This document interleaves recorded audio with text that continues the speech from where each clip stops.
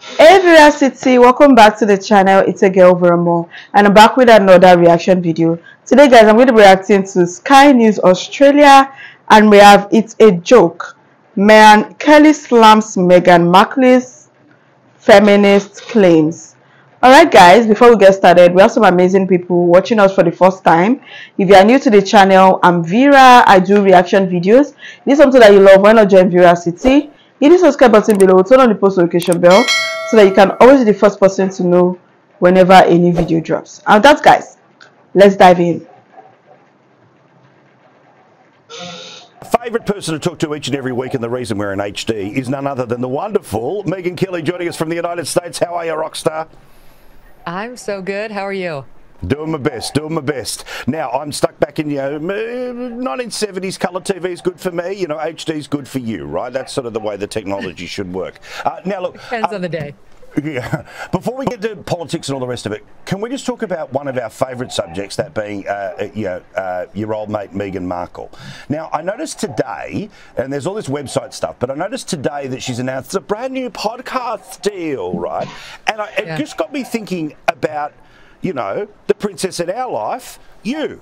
Now, you started your own thing, you've built your own thing into millions of people around the world. Why can't she build something? She's just got to get paid by somebody else all the time. Yeah, it's so true. And no one's ever heard of this podcast uh, outlet that she's going to. As far as I can tell, they've got far, far lefties like Sarah Silverman and Samantha Bee who are loathed by everybody who is center or right of center. So this is what she's signing up for. She's declaring she's not just liberal or progressive, she's a far left progressive. Those are her new partners. Yeah, she can't build it because no one will come. She tried that. Let me tell you, from Spotify to this Lemonada is a big fall down. She knows that. She couldn't get anybody else to pony up the dough. She needs cold hard cash because she wants to fly private and she wants all the trappings of the royal life without having to work for it. And she does want to fly private, and she is flying private on everyone else's dime. At the same time, as part of their rebrand, Harry's continuing to touting himself as an environmentalist. Okay, if you're an environmentalist, get on JetBlue.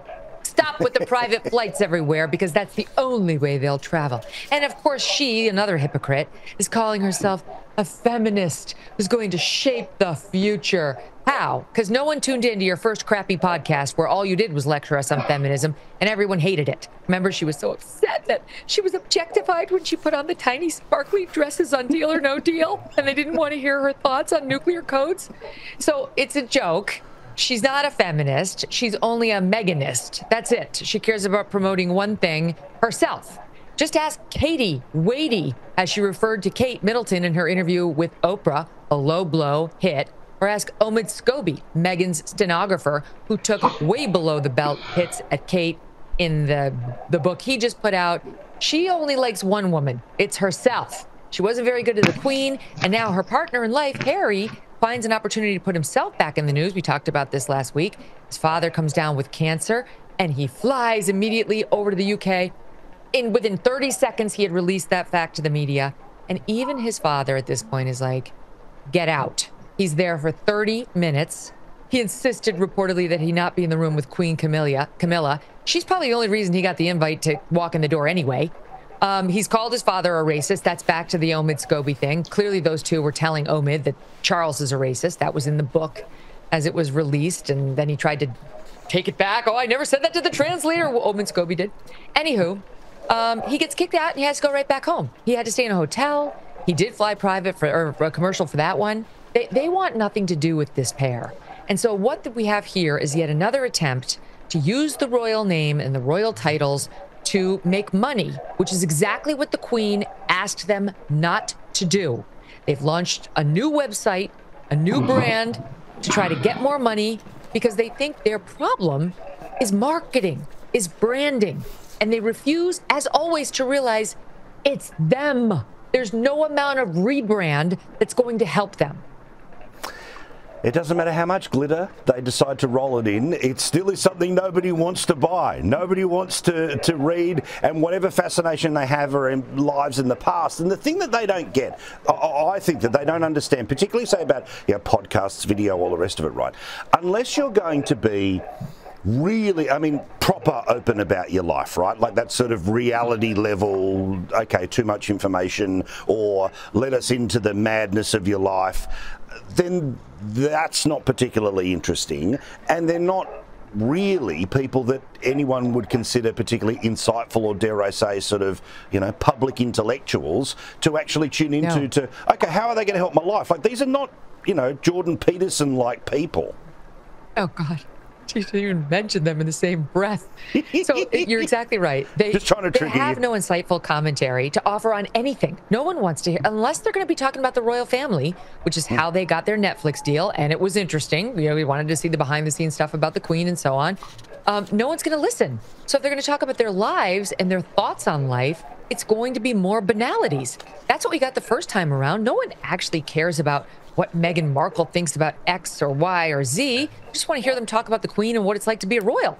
Now they're out of that material, so we're going to be stuck with more lectures on which words we're not allowed to use, mm. according to who? Meghan Markle. Who cares what she thinks about what words I attempt to use in my life?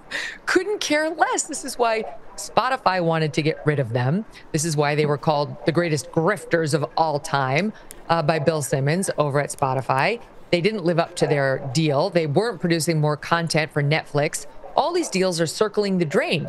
So they went to the no name far left organization that signed her up. I guess we're going to get more drivel on feminism, according to Meghan Markle, who's done nothing other than get married. That's her big accomplishment. Fine, I like being married, but it's not like that's what a feminist does. We get married and then we tell everybody about what we did as a married woman thanks to our husband's money. Woo, me! Yeah, I mean, look, uh, you know, as, as important as marriage is, and obviously happy Valentine's Day, here it is in, in Australia from those who love you here. Yes. But uh, it's not landing on the moon. You know, like, like, it's like when these people go, it's like, you know, that's something that, okay, wow, really? Only this many? And how many? But, you know, anyway. Um, now, the View. Uh, Sunny Hostin is one of the most annoying people on the most annoying show on uh, television in the US. And she's all about, you know, the far left stuff and racism and institutional racism. She does one of these tests and, oh, oh, what's in her past? I was really reluctant to do it because I just sensed that there could be something in my family history that would be um, disappointing. But what I found out was that my mother's family while um, they are Puerto Rican, they actually originate from Spain. And the reason that they moved to Puerto Rico is because the slave trade mm-hmm. had been sort of canceled in Spain and then Curacao, and then they moved all of their slaves to Puerto Rico. Mm-hmm. And so the, biz- the family business, I had been told that they were printers and journalists, but they were in fact enslavers. Mm-hmm.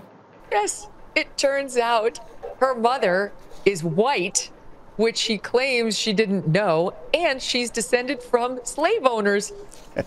it's amazing. she's been ripping on the United States and, and the, our terrible past, and she's been demanding reparations for, you know, modern day black Americans, many of whom had absolutely no connection whatsoever to slaves or slavery, but still they, they need to get paid. And it turns out she's going to have to pay out. She's not receiving anything. She's going to have to pay it out.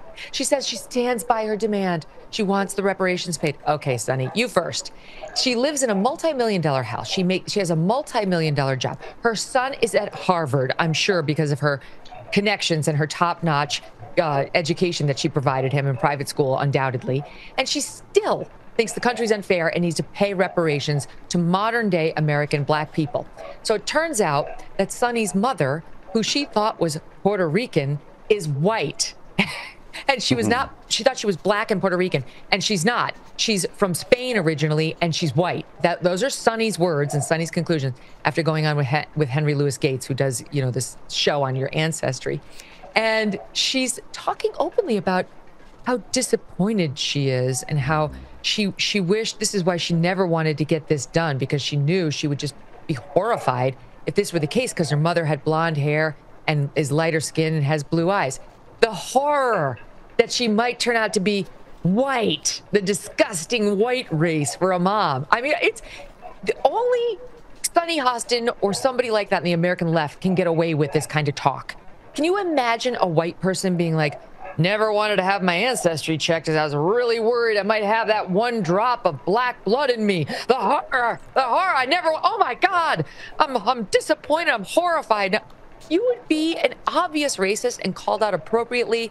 This is not even a footnote in the media that she said any of this. Well, I mean, this is the thing. I've been thinking about this uh, a lot in the past few weeks, right? Which is that we know that these people are hypocrites, but it is amazing how hypocrisy does nothing to hold them back. Instead, they're able to sort of shape shift and move their way through. And also, what about this garbage where she turns around and says, after learning all of this, she had to have a difficult conversation with her mother? A difficult conversation? What is the difficult part of the conversation? Right. I hear you're the shameful race. I'm so yeah. ashamed of you. You got the poison white. in you. I can't believe. And now I find out I'm half white, right? This oh. woman who's out on the view. It's it's actually so wonderful. I love the whole story. Both of our first two stories I love. I love that Meghan Markle's coming out with another podcast for you and for me, not for Gen Pop. And I love that Sunny Hostin has been caught yet again in her absurd hypocrisy and that she's both going to pay the reparations and I suppose receive them. We'll look forward to that transaction at the checking account. Hmm.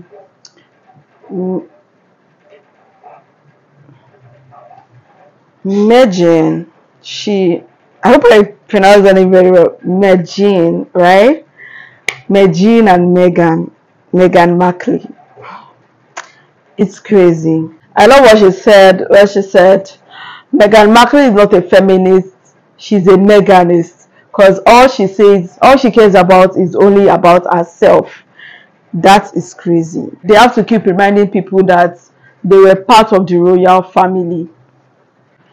I love this lady, Meghan. Meghan. I, I can't pronounce her name. I love the fact that she called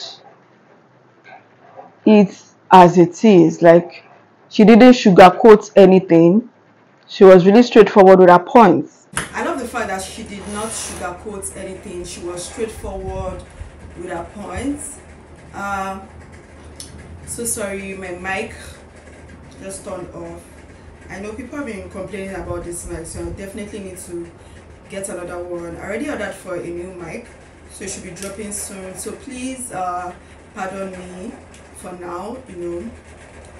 I'll be getting a new mic. The mic should be should be should, should be delivered by next week yeah. I already ordered for a mic about three weeks ago so yeah alright guys what do you think about this video? Uh, share your thoughts on this one. I'd love to know what you think about it.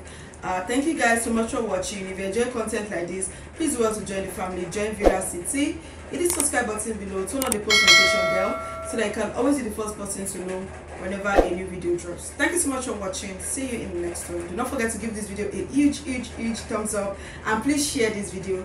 Stay safe. I love you. Bye